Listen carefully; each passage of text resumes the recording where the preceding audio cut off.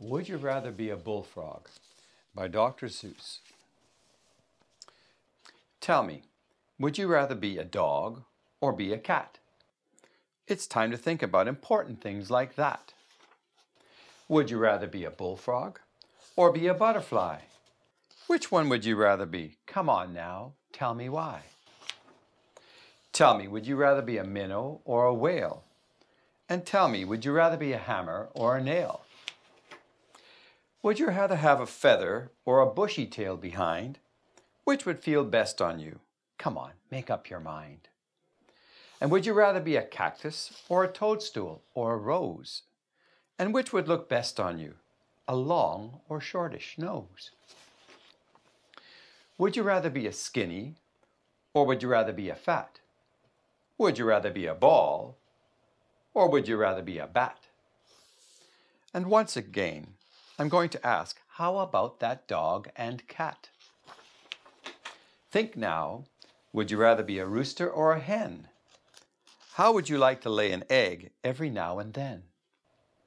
Would you rather have big moose horns or small horns like a cow? This is so, so important, and I want to know right now.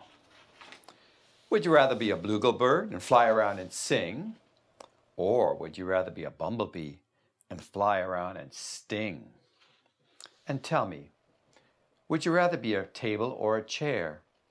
And now tell me, would you rather have green or purple hair? Would you rather be a clarinet or trombone or drum?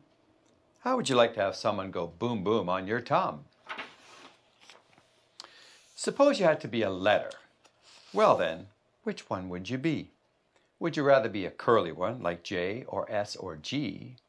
Or would you rather be a Sharpie like K or Z or V? Now tell me, would you rather be a window or a door? And would you have more fun if you had six feet or 164? These are really important questions. Come on, tell me, tell me, please. Would you rather be a soda or a piece of smelly cheese? Or would you rather live in an igloo or would you rather live in tents? And would you rather be a dollar bill or 97 cents?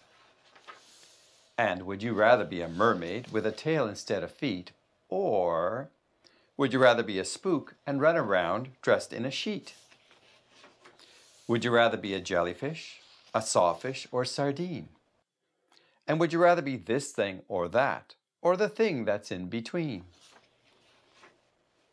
It's hard to make up your mind about important things like that. I can't even make up my mind about that dog and cat.